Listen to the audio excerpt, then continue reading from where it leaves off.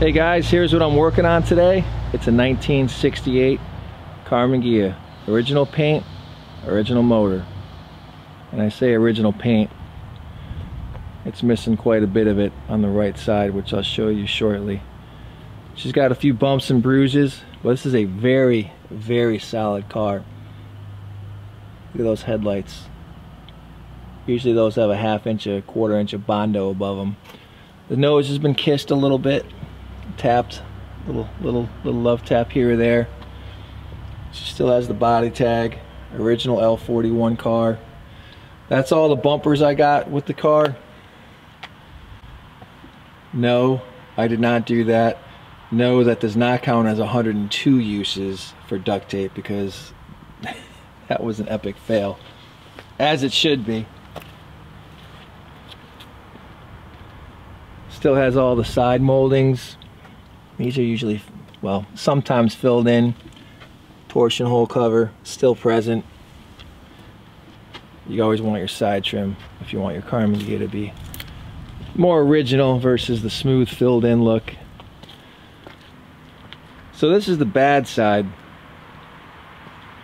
It's got a lot of filler. We're gonna strip strip this down to bare metal, get rid of all that filler.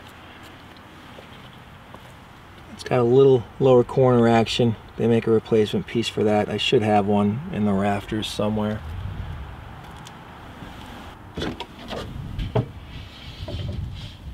The interior is really crispy.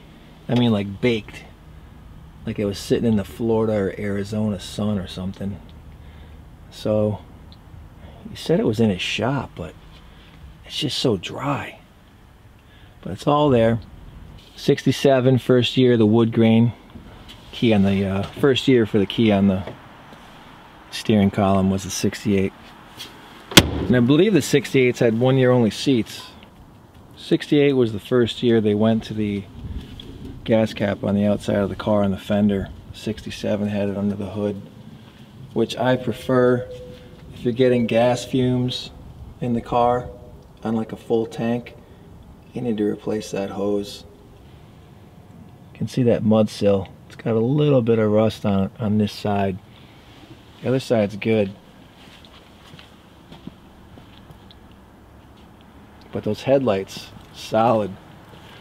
68 is also the first year. 68 and 69 had the side little reflectors. You can see the circle. That door needs a little bit of adjustment, but if you're looking at Ghias, I can tell you I've bought a lot of them and these hinges if you find one without a sagging or broken hinge you're really you're really fortunate. You'll see the wear marks on this gap. It'll be all off. It'll rub on the fender. This one needs a little bit of an adjustment. It's kind of hanging up a little bit. You want that line to match. But get to the motor here. Oh, rear deck lid. Another common area for these to rust. Rear deck lid. So HO motor, correct motor for this car. I have the oil bath cleaner that would sit on that pedestal in, inside the car. The previous owner, like his nephew that I bought the car from, he said he put mystery oil in the carburetor. He put mystery oil in the plugs, um, plug holes. It's not seized. I haven't tried to start it. He said he didn't try to start it. I don't know if that's true. He probably couldn't get it started and just said he didn't try. But anyway, a little bit of rust here and there. Battery tray, common. Alright guys, so that's to do it for me. I just wanted to show you guys the 68 Karmann Ghia. And also, it's about that time. The 211 has landed. So yes, we will be welding. We'll be working on the 63 ragtop. We will be wheeling the 56 oval in and out of the garage for some welding. And then when I get good at welding, we will be working on the 66 SO42 and getting this thing back on the road. Well, I was going to give you guys a little teaser and I got nothing.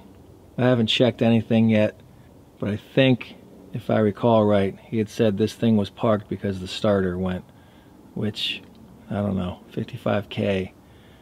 That seems a little suspect, but anywho, that's it for me. Thanks for watching, guys. Look for updates on the Miller and some welding. Super pumped about that. So have a great day, and we'll see you soon.